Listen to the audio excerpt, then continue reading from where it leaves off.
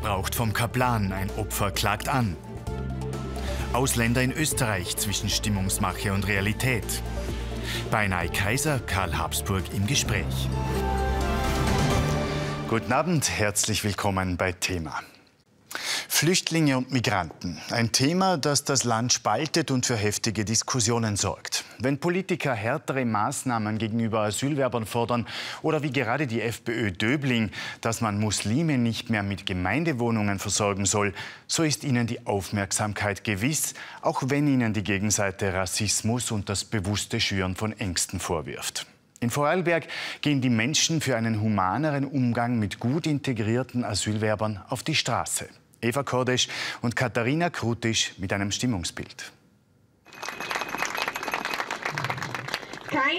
Sonntagnachmittag in Bregenz. Mehrere hundert Menschen versammeln sich zu einer Demonstration für mehr Menschlichkeit in der Asylpolitik. Seit Ende Oktober gibt es diese Kundgebungen in mehreren Orten in Vorarlberg. Ich habe endlich das Gefühl, dass Österreich wieder oder vor allem Vorarlberg an einem Strang zieht. Und eine Zeit lang habe ich wirklich das Gefühl gehabt, dass wir fast allein sind und dass alle nur gegen diese Asylsachen sind. Man muss sich sichtbar machen. Sonst glauben alle, es ist eh alles in Ordnung. Ein geregelter Zugzug ist, bin ich, ist logisch, leuchtet jeder mit aber die Menschlichkeit geht mir ab. Der Auslöser für diese regelmäßigen Demonstrationen sind zwei heftig diskutierte Abschiebungsfälle. Zum einen geht es um eine gut integrierte armenisch-iranische Familie. Azad P. wird Ende Oktober wegen der geplanten Abschiebung mit seinem dreijährigen Sohn von seiner schwangeren Frau getrennt und in Schubhaft genommen. Seine Frau erleidet daraufhin einen Kollaps. Dieses Vorgehen stößt auf massive Kritik. Die Familie wird daraufhin wieder zusammengeführt. Der Asylbescheid bleibt weiterhin negativ. Darüber möchte ich nicht äh, viel reden, weil es ist natürlich ein großer Stress für die Familie ja, geworden. Aber Gott sei Dank ist gelungen. Also, äh, also mir selber kann ich, kann ich, habe, habe ich keine Klagen oder so. Ich, ich, ich hoffe nur auf das Gute und hoffe für das Gute für unsere Familie und hoffen wir, das wird wird die Situation gelöst irgendwie. Zum anderen geht es um Kamar Abbas, hier auf Archivaufnahmen zu sehen. Der Pakistani wird trotz seiner Stelle als Gastronomielehrling in Lustenau im Oktober abgeschoben. Und zwar ohne Bescheid, wie wir von seinem Rechtsanwalt erfahren. Unmittelbar nach seiner Ankunft in Pakistan wird er verhaftet. Auch wenn er mittlerweile wieder frei ist, macht sich sein ehemaliger Chef Marcel Lerch Sorgen. Es ist nach wie vor eine sehr komische Zeit, sage ich einmal, oder sehr schwierig, das zu verarbeiten, weil er doch sozusagen zu unserer Familie gehört hat. Äh, wir haben ihn super aufgenommen, äh, also er ist wirklich beliebt bei Gästen, bei den Mitarbeitern und so weiter. Und es geht einfach um ein Menschenleben. Und er hat sich wirklich, wirklich integriert. Ich habe ihm öfters gesagt, Kamar, bemühe dich, das ist deine nächste Chance, das ist ein neues Leben für dich, du hast die Möglichkeit, hier etwas Neues aufzubauen und äh, dem war jetzt nun leider nicht so. Marcel Lerch hält Kontakt mit seinem ehemaligen Lehrling. Als Kammer endlich aus dem Gefängnis gekommen ist, hat er sich gleich bei Marcel Lerch gemeldet. Er hat mir etwas erzählt aus seiner Haft. Das war wirklich eine schlimme Zeit mit 30 bis 14 Insassen pro Zelle, ähm, mit drei Toiletten, äh, davon ein Teil verstopft, miserables Essen oder kaum Essen, jeden Tag harte Arbeit und Verhöre, Verhöre, Verhöre. Das Thema Migration ist für viele Menschen in Österreich ein Reizthema. Vergangene Woche forderte die FPÖ in Wien-Döbling, dass künftig keine Gemeindewohnungen mehr an Muslime vergeben werden sollen. Wir gehen in den Karl-Marx-Hof, einen der bekanntesten Gemeindebauten Österreichs, und fragen die Bewohner nach der Stimmung. Gibt es Probleme mit Nein, Migranten ich habe mit, ich hab Gemeindebau? Nein, Probleme. Ich, wir haben hier kleinen Balkan in irgendeiner Art und Weise. Gehen Sie mal am Abend durch, schauen Sie sich das an. Oh, ist das unangenehm? Ja. Wenn Sie kein deutsches Wort mehr herinnen hören, dann schon. Die FPÖ Döbling fordert, dass Muslime aus dem Gemeindebau ausgeschlossen werden sollen. Was sagen Sie dazu? Die spinnen. Sowas kann man nicht fordern. Schaut schon traurig aus, wenn die sowas sagen. Weil wir alle halt Menschen sind. Und weil wir alle auch zahlen die Miete. Wir arbeiten ja dafür. Wenn es oder arbeiten gehen tun oder die Muslimen, ja okay, ja. Aber wenn es oder, oder ähm, Dings ist oder wenn es Radikale sind, dann, ja, dann nicht. Oder, oder, dann, dann kehren sie da angeschoben, ganz einfach. Es gibt Kreaturen, ja, die was Österreicher sind, und es gibt Kreaturen, die was, sind, die was halt Ausländer sind. Ja. Und wenn der Leibwand zu mir ist, bin ich zu ihm auch Leibwand. Bei mir gibt es keine Probleme. In der Straßenbahn gibt es Probleme. Weil da telefonieren so laut, da glauben sie, es sind alle auf der Welt. Flüchtlinge, Asylwerber, Migranten. In Österreich scheint die Bevölkerung derzeit kein Thema so sehr zu bewegen wie das der Ausländer. Auf der einen Seite wird für mehr Menschlichkeit im Umgang mit Asylwerbern demonstriert, auf der anderen Seite wird im Netz negative Stimmung verbreitet. Wie groß ist das Problem mit der Integration? Dient das Ausländerthema als politisches Instrument? Immer öfter warnen Stimmen vor einer Spaltung der Gesellschaft in Österreich.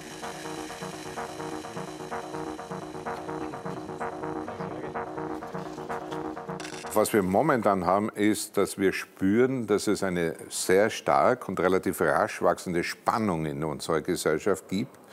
Und es könnte, also diese Spannung hat tatsächlich das Potenzial, dass es zu einer Spaltung kommen könnte. Wird das Thema Migration immer größer?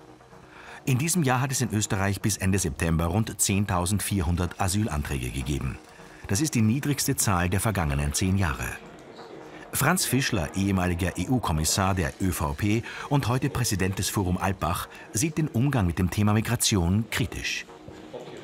In Wirklichkeit haben mittlerweile die Leute viel mehr Angst, zum Beispiel vor den Folgen äh, des Klimawandels, gerade äh, nach dem heurigen Sommer. Und äh, ich glaube, dass auch äh, mit der Zeit die Leute viel, viel mehr Angst haben werden, äh, ist ihre Pension noch gesichert oder wie ist das, wenn sie krank werden, äh, weil eben der Anteil der älteren Bevölkerung immer größer wird. Also da, da entstehen Ängste, aber da haben diese Leute keine Antwort drauf. Also daher pflegen sie tunlichst äh, jenes Feld, wo sie eine Antwort haben, und das ist zurzeit eben äh, die Migration. Keine Woche vergeht ohne Schlagzeilen zum Thema Ausländer und Flüchtlinge. Oft geht es um Kriminalität und Sozialmissbrauch. Es sind diese emotionalen Inhalte, die sich besonders schnell in den sozialen Netzwerken verbreiten. Erfolgsgeschichten sind seltener. Ali Eralb lebt seit mehr als 30 Jahren in Wien. Er ist von Istanbul nach Wien gekommen, um hier Wirtschaft zu studieren. Heute ist er im Vorstand einer Finanzberatungsfirma im ersten Bezirk und engagiert sich für soziale Projekte und Integration. Solche Sachen verletzen auch natürlich. Äh, ich habe den Vornamen Ali, aber ich habe in diesem Land alle Möglichkeiten auch bekommen. Also ich kenne die andere Seite auch und, und, und äh, ich bin auch dankbar, dass ich hier einiges schaffen konnte. Aber das verletzt, weil andere Beispiele nicht gezeigt werden, sondern vielmehr diese negativen. Und das ist eben, wir sind in einer Gesellschaft gerade, das Wer spielt vielmehr eine wichtige Rolle, anstatt Warum und Was. Genau das verstehen viele Menschen in Vorarlberg nicht. Sie sind der Meinung, dass sowohl Azad P. als auch der Lehrling Kama Abbas hier etwas geleistet haben und sich gut integriert haben. Dass in diesen beiden Fällen nicht das humanitäre Bleiberecht ausgesprochen wird, ist für den zuständigen Bregenzer Anwalt Wilfried W. unverständlich. Es gibt Flüchtlinge, die nach Vorarlberg kommen, die haben keinen Zusammenhalt. Aber um die tut es mir auch nicht leid. Aus meiner Sicht werden genau die Falschen abgeschoben. Es werden genau die abgeschoben, die am besten integriert werden und die besten Voraussetzungen für ein erfolgreiches Leben in Österreich hätten. Genau die werden abgeschoben. Das ist genau unsere Kritik. Azad P. ist mit seiner Frau vor fünf Jahren nach Österreich gekommen. Beide haben in ihrer Heimat Wirtschaft studiert. Sohn Anri, drei Jahre alt, ist bereits hier geboren. Das zweite Kind ist unterwegs. Seine schwangere Frau will aufgrund der Belastungen nicht ins Fernsehen. Wir wollen großes Dankeschön sagen an alle, die uns kennen und uns unterstützt haben. Und bisher, äh, wir, sind, wir haben viele Freunde, die uns immer fragen, was ist, also womit kann man helfen oder so weiter. Also es gibt also große Unterstützer-Team, das uns immer geholfen hat. Und wir, wir möchten natürlich auch hier bleiben dürfen. Nicht alle Asylwerber haben den Willen oder die Chance, sich so zu integrieren wie Kama Abbas oder die Familie von Azad P. Nicht alle finden so viele freiwillige Helfer. Der Staat ist gefordert, meint Franz Fischler bei der Integration, da gibt es also ein, einzelne Dinge, die einfach gemacht werden müssen und auch verbessert werden müssen. Das ist die Frage, wie bekommen die Leute Sprachkompetenz? Das ist die Frage der Schule. Das ist die Frage des Wohnens. Das ist die Frage eines Arbeitsplatzes ja? und, äh, und einer eine Ausbildung. Das sind, äh, wenn man hier investiert, dann glaube ich, wird auch die Einstellung gegenüber Migranten äh, wieder eine andere werden.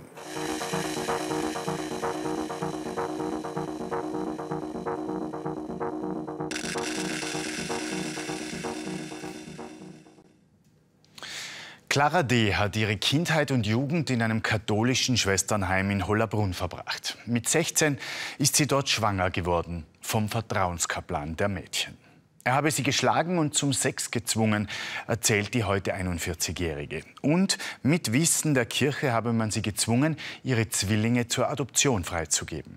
Nun, 25 Jahre später geht sie vor Gericht und an die Öffentlichkeit. Der Priester, der sie missbraucht haben soll, war bis vor kurzem im Dienst, berichten Christoph Benders und Martin Steiner. Das ehemalige katholische Schwesternheim in Hollerbrunn, Niederösterreich. Hierher ist Clara D. gekommen, als sie 13 war. Hier hat sie gelebt, als sie Zwillinge erwartete. Der Vater, Wladimir H., ein Geistlicher, Vertrauenskaplan für die Mädchen. Kennengelernt hat ihn Clara mit 16. Sie ging bei ihm zur Beichte. Dann hat er gesagt, das werden dir deine Sünden nicht vergeben. Und ich habe gesagt, warum? Er hat gesagt, du musst mir vorher einen blasen. Und äh, bevor ich noch irgendwas sagen konnte, hat er sich schon frei gemacht und hat meinen Kopf schon runtergedrückt. Also ich musste ihm da in diesem Zimmer quasi, was nicht eigentlich äh, kein richtiger Beistuhl war, ähm, befriedigen. Clara kommt ursprünglich aus Bulgarien. Dort wurde sie von ihrem Stiefvater missbraucht. Als er dafür angezeigt wird, flieht die Familie nach Österreich. Claras Mutter gibt dem Mädchen die Schuld daran. In Österreich gibt sie die Tochter für Geld an einen älteren Mann, angeblich als Haushaltshilfe. Auch dieser Mann beutet das Mädchen sexuell aus. Das Jugendamt erfährt von dem Missbrauch, wie Dokumente belegen.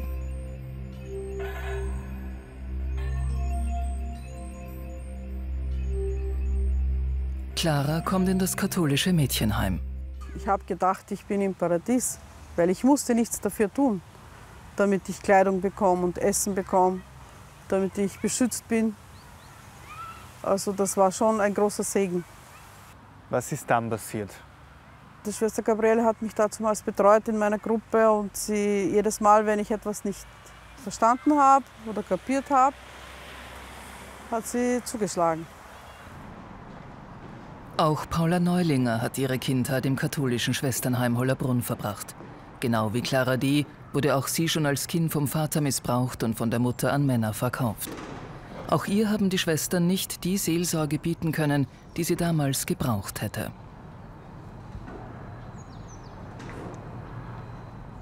Mir hat es einmal den Haaren so geschüttelt und quatschen, dass ich einen Galle gebrochen habe. Und ich habe es halt in die Hand gebrochen und sie hat gesagt, das schluckst du runter. Was bleibt dann dann übrig? Die ungelebte Sexualität drückt sich sehr in Gewalt und Aggressivität aus. Paula Neulinger hat Jahrzehnte gebraucht, um zu verstehen, was ihr die Eltern angetan haben. Mit acht Jahren ist sie ins Heim gekommen. Weder die Schwestern noch die Behörden haben das schwer missbrauchte Kind verstanden. Ein Gutachten bescheinigte der Achtjährigen sogar eine besondere sexuelle Erlebnisbereitschaft. Man merkt, dass das, Entschuldigung, wenn ich das jetzt sage, aber man merkt, dass das von einem Mann geschrieben ist, weil Man muss als Mann schon sehr abartig denken, dass man annimmt, dass ein achtjähriges Mädchen sexuell verwahrlost ist. Wenn man weiß, dass das Kind missbraucht worden ist. Die Polizei hat es gewusst, die anderen haben es alle nicht wissen wollen. Es steht sogar in der Akte drin, dass die Polizei das, das annimmt, aber die anderen wollten es offensichtlich nicht wahrhaben. Die meisten Kinder, die im katholischen Heim waren, seien bereits davor Opfer von Missbrauch geworden, meint die heute 63-Jährige. Die Schwestern hätten den traumatisierten Kindern nicht helfen können. Im Gegenteil. Dieses Gefühl dieser Hil Hilflosigkeit, dieser Machtlosigkeit, ja, dieses Scham-Schuldgefühl, was im sexuellen Bereich sehr zusammenhängt, die haben man immer reduziert. Die haben man nicht rausgeholfen aus dem Ganzen, die haben nur fest nachgeschaufelt. Weil wir sind dort nur noch schuldig erklärt worden für das, was alles passiert ist. Wir sind immer für schuldig erklärt worden. Das ist ganz sicher nichts für traumatisierte Kinder. Auch Clara war ein traumatisiertes Kind und Kaplan Wladimir H. hätte das ausgenützt, erzählt sie.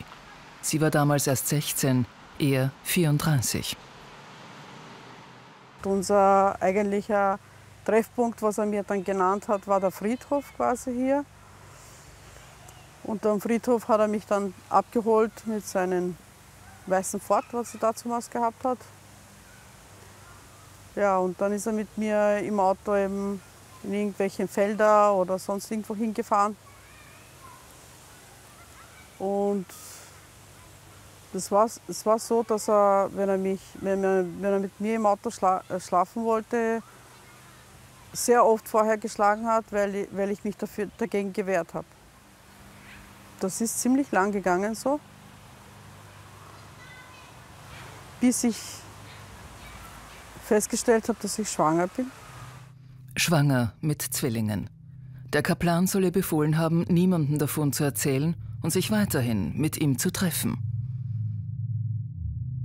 Er hat gesagt, ich darf auf keinen Fall sagen, dass, es, dass er der Vater ist. Er hat mich auch bedroht. Und ich habe es auch, auch nicht gesagt.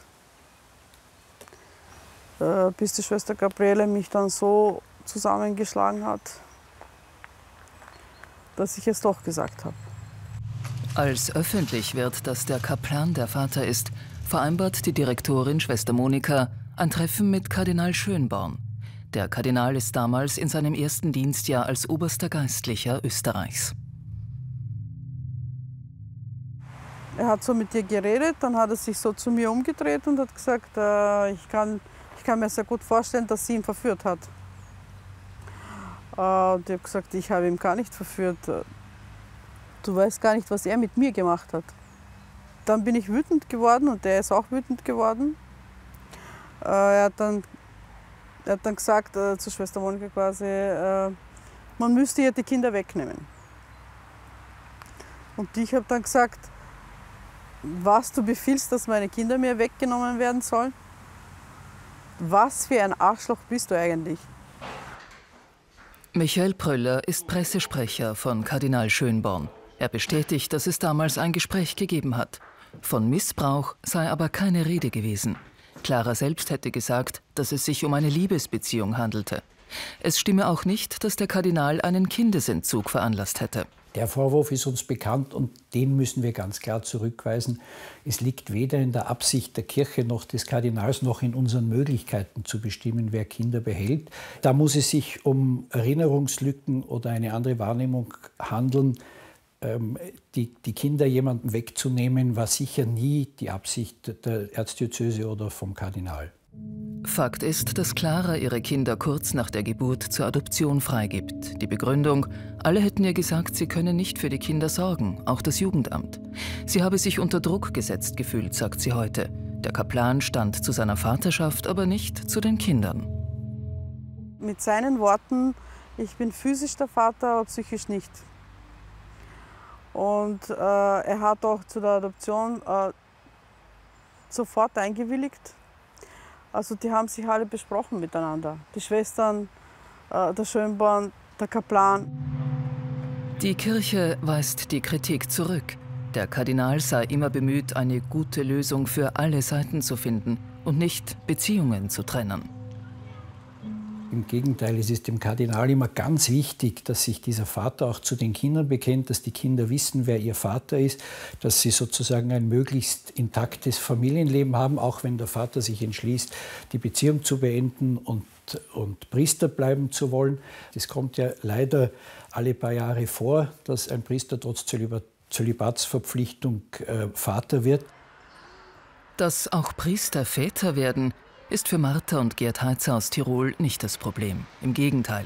Die beiden haben im Jahr 1991 ein Kirchenvolksbegehren gestartet, um ein Zeichen gegen den Pflichtzölibat und die generelle Sexualfeindlichkeit der katholischen Kirche zu setzen. Der Papst sagt, dass die Sexualität ein Gottesgeschenk ist. Und, und das ist, um Himmels Willen, er hat uns geschaffen mit Sexualität. Ich verstehe die Kirchenväter nicht, die Theologen nicht der damaligen Zeit und der heute, die die Sexualität oder die Frauen verdammen. Das ist eine Gotteslästerung. Herr und Frau Heitzer sind studierte Theologen und bezeichnen sich selbst als erzkatholisch. Dennoch wurden sie vor sechs Jahren von der Kirche exkommuniziert, weil sie eine Messe ohne Priester abgehalten haben. Die Inszenierung des Priesteramtes sehen sie überhaupt als Kardinalfehler der katholischen Kirche.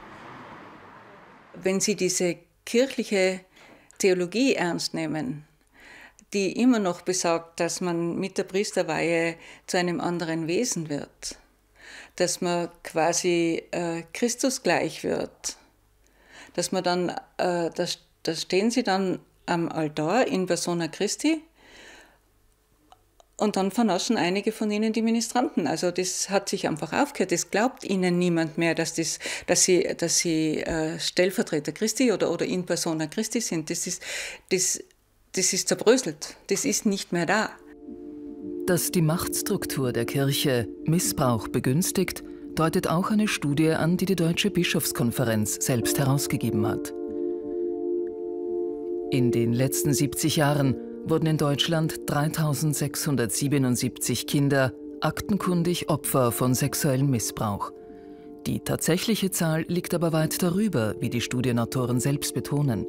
Denn viele Aufzeichnungen seien manipuliert, vernichtet oder gar nie freigegeben worden.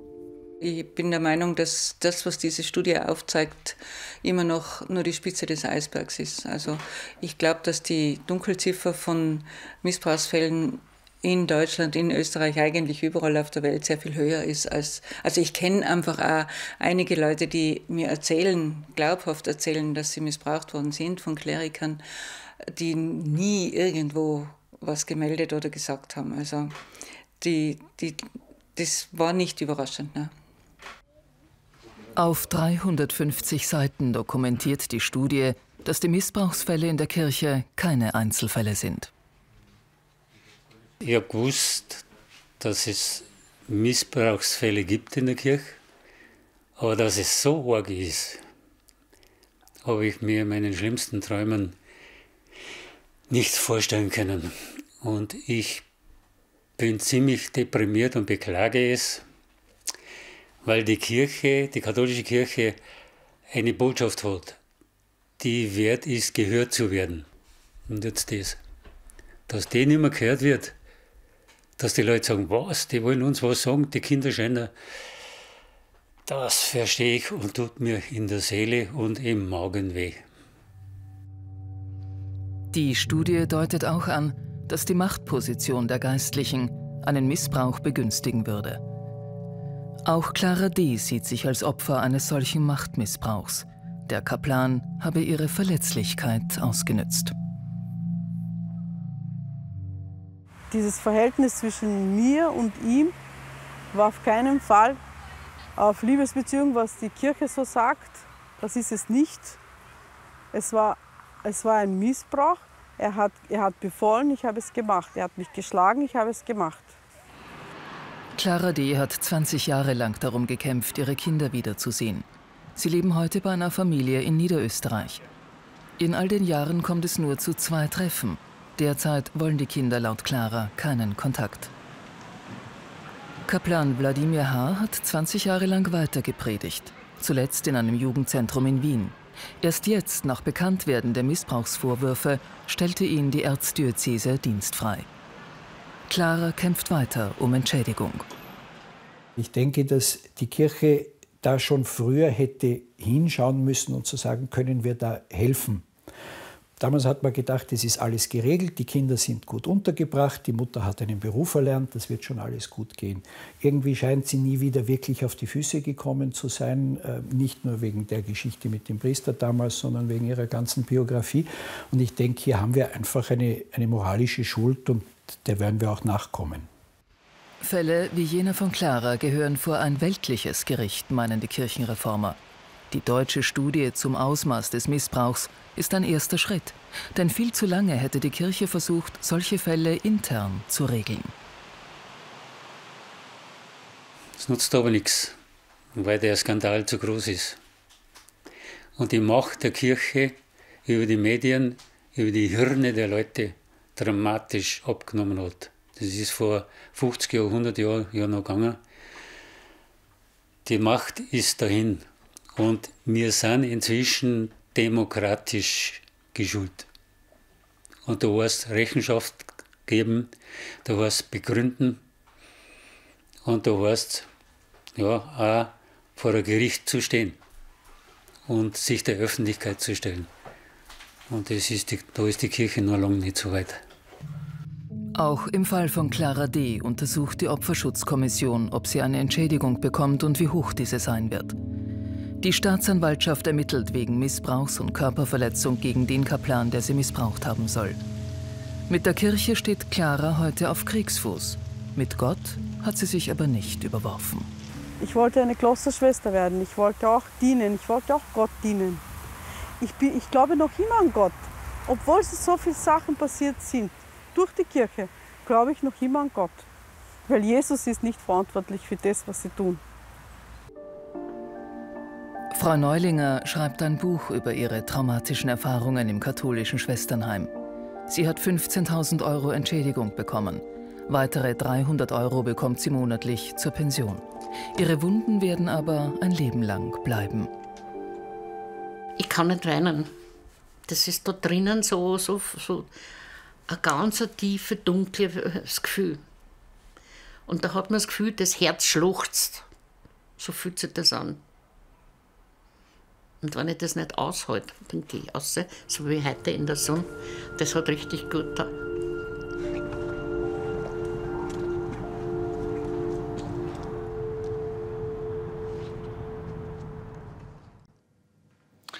Er ist ein Kaiserenkel ohne Krone, Familienoberhaupt einer Herrscherdynastie ohne Reich und ohne Macht. Karl Habsburg, Enkel des letzten österreichischen Kaisers. Der 57-Jährige würde heute auf dem Thron sitzen. Doch vor 100 Jahren hat die Republik der 640 Jahre währenden Regentschaft der Habsburger ein Ende gemacht. Wie der kaiserliche Spross tickt und was er über das Aus der Monarchie vor 100 Jahren denkt, berichtet Sabina Riedl.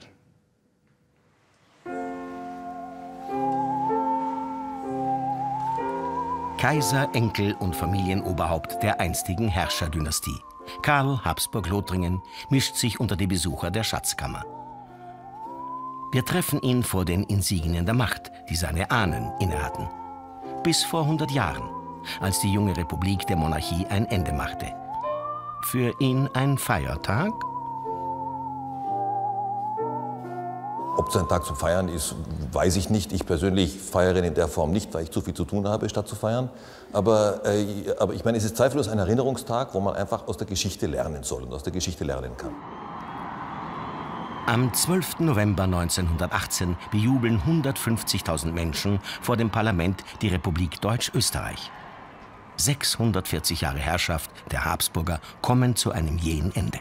Also ich habe die Monarchie ja nicht miterlebt. Deswegen ist für mich natürlich so, dass ich, ich schaue das Ganze mit einem großen geschichtlichen Interesse an und ich sehe, ich sehe die Vor- und Nachteile und ich sehe sie vielleicht relativ nahe, weil ich natürlich noch viele Menschen gekannt habe, die dort gelebt haben und denen wir von dort erzählen konnten. Also ich habe doch viele Zeitzeugen miterlebt, aber ich bin sicherlich nicht, eben nicht ein Vertreter der Erlebnisgeneration, sondern der Erkenntnisgeneration.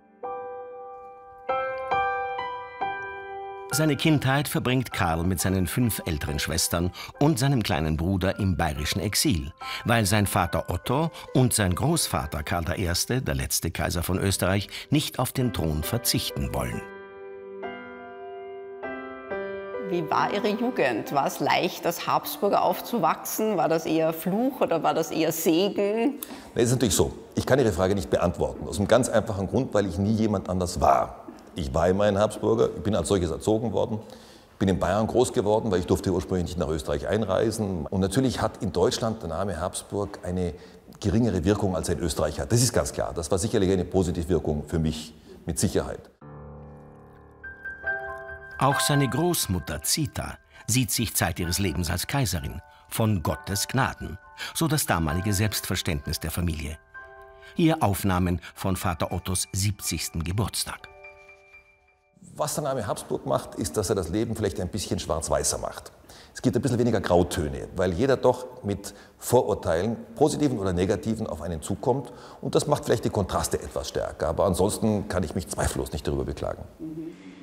Auch wenn die Familie mittlerweile längst auf alle Ansprüche verzichtet hat, lässt hier der Name Habsburg niemand kalt. Erkannt wird er noch gelegentlich und wie ein Museumsstück bestaunt. Von Touristen, wie hier in der Schatzkammer, ein Schnappschuss vor den Prunkstücken der einstigen Herrscherdynastie. Ob es ihn wehmütig macht, dass er doch nicht Kaiser wurde, die Monarchie nicht wie anderswo mit Pomp und Gloria überlebt hat? Sind Sie auch froh, dass es vorbei ist oder schaut man manchmal über den Teich nach England und denkt sich, wäre schön, da auch noch vom Balkon zu winken? Na, absolut nicht. Ich muss ganz ehrlich sagen, äh, ich bin der Überzeugung, dass ich natürlich ein viel freieres Leben haben kann, dass ich viel mehr meine eigenen Entscheidungen fällen kann, als wenn ich in ein äh, starres Hofprotokoll gepresst wäre. Der Beruf eines Monarchen ist kein erstrebenswerter Beruf. Ich habe das häufig gesagt, es tut mir leid, ich bin da schon öfter zitiert worden, wenn ich das so sage. Es ist nicht ein Beruf, den man unbedingt erstrebt, es ist ein Beruf, den einem die Verpflichtung auferlegt, wenn man dort entsprechend hereinwächst. Und dann muss man sie natürlich, so gut es irgendwie möglich ist, dann auch erfüllen, wenn sie auf einen zukommt. Aber man muss ganz ehrlich sagen, Sie wissen so gut wie ich, wenn wir heute in einem entsprechenden Hofprotokoll leben würden, wäre es höchst unwahrscheinlich, dass ich momentan Ihnen im Interview gegenüber sitzen würde. Jammer, schade also. Ich würde es auch bedauern, zweifellos. Nachdem die Monarchie bei uns nicht überlebt hat, beschränkt sich das royale Gepränge auf den Pompe funèbre. Die Beerdigungen der Habsburger, wie das Begräbnis von Zita 1989 in Wien, geraten zum Massenspektakel. Der Flirt mit dem Tod ist nach den vielen Schicksalsschlägen durchaus ein Markenzeichen der Familie. Es geht die Fama, dass Karl Habsburg-Lothringen seiner späteren Ehefrau Francesca in der Kapuzinergruft den Antrag machte. Mit den Worten, möchtest du hier begraben sein? Ob die Anekdote stimmt? Die Geschichte ist richtig. Ich meine, natürlich, wir haben, ich habe sie damals geführt durch Wien, habe ihr verschiedene Bereiche gezeigt und ein Bestandteil war natürlich die Kapuzinergruft und ich habe gefunden, dass das eigentlich ein relativ witziger Platz sei, um, um das auch zur Sprache zu bringen. Das heißt, da ist sie schwach geworden sozusagen. Ich bin nicht sicher, dass die Gruft der richtige Ort dafür ist, aber ich habe halt gefunden, dass es historisch amüsant ist. Achten und ehren, solange ich lebe. Der Antrag war jedenfalls von Erfolg gekrönt. 1993 geben sich Karl Habsburg und Francesca Thyssen-Bornemisser in Mariazell das Ja-Wort. Und werden Eltern dreier Kinder, Eleonore, Ferdinand und Gloria.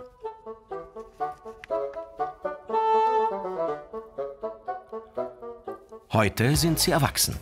Eleonore modelt und studiert in England. Ferdinand ist Rennfahrer. Die Youngster kriegen geschickte Kurve zwischen Instafame und alter Patina. Wenn ich heute meinen Sohn anschaue, der hat mit sieben Jahren ganz genau gewusst, was er machen will. Ja? Und hat das ganz konsequent von dort an verfolgt. Und das ist für mich eine große Bewunderung. Ich habe das zweifellos in der Form nicht gewusst. Ich habe gewusst, dass, ich für mich, dass mich Politik interessiert, gar keine Frage, und das größere Umfeld davon. Äh, habe versucht, mich immer in diesem Bereich irgendwie weiterzubilden und stark zu machen. Und das hat natürlich, das hat sich dann sehr vielfältig niedergeschlagen. Das ist gar keine Frage. Aber sagen wir, das war immer so ein, ich habe einen sehr breiten Interessensbereich gehabt und habe versucht, dem auch entsprechend Rechnung zu tragen. Geschichte wird sein Steckenpferd, familiär bedingt. Brücken bauen für ein geeintes Europa. wie hier gemeinsam mit seinen Eltern in Budapest 1990, später als EVP-Abgeordneter zum EU-Parlament. Davor probiert er vieles aus. Sie ahnen vielleicht schon, was es ist. Ich weiß es nicht. Oh ja, ich kann mir schon vorstellen in etwa. Ah ja, das kann ich. Ich, ich erinnere mich daran. Keine Frage, selbstverständlich. Kommt das Beste, bitte. Ja. Präsentiert von Karl Habsburg. Tada. Ja, habe ich ein paar Kilo weniger gehabt. Es ist so. Grüß Gott, meine sehr verehrten Damen und Herren. Herzlich willkommen bei Who is Who. Bei uns treten heute wieder vier Kandidaten bei Fragen rund um bekannte Persönlichkeiten an. Und die ersten beiden Kandidaten sind Bettina Zobeck und Martin Prinz. Gab's auch wilde Jugendjahre? Nein, ich habe nicht geraucht. Ich hatte auch keine langen Haare, weil ich die von Anfang an völlig abgelehnt habe, weil ich immer gefunden habe, dass ich irgendwas Militantes an mir habe. Deswegen waren lange Haare völlig undenkbar.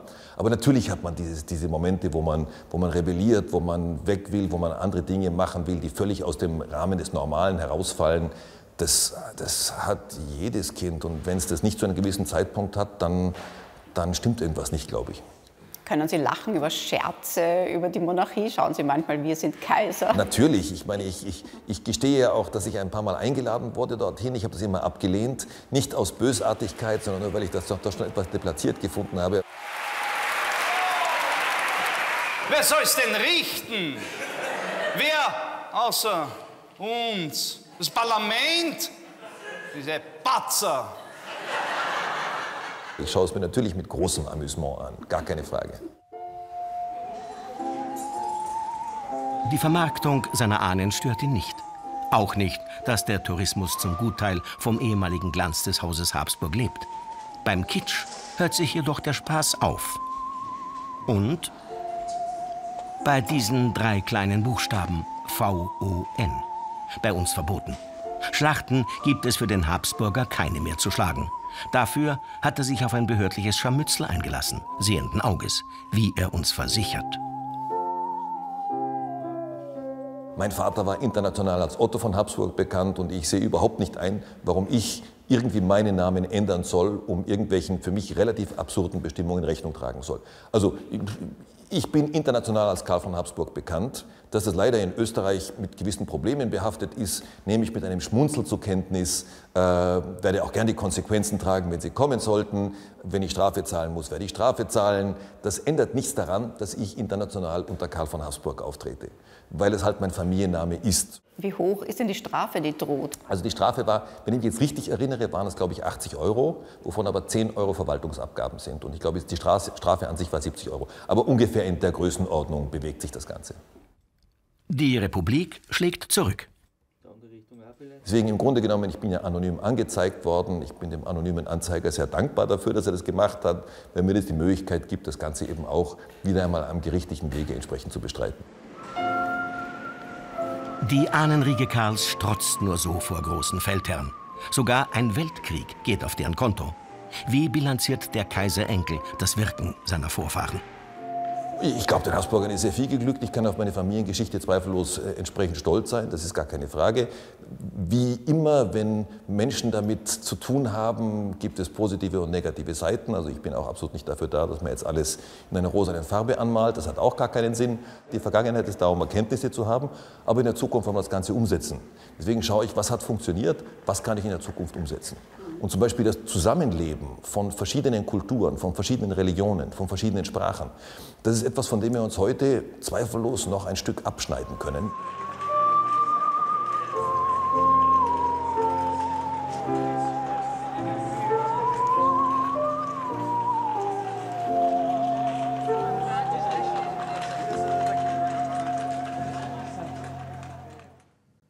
Das war Thema. Im Namen des Teams sage ich danke fürs Zusehen. Bis nächsten Montag. Ihnen bis dahin eine schöne Zeit.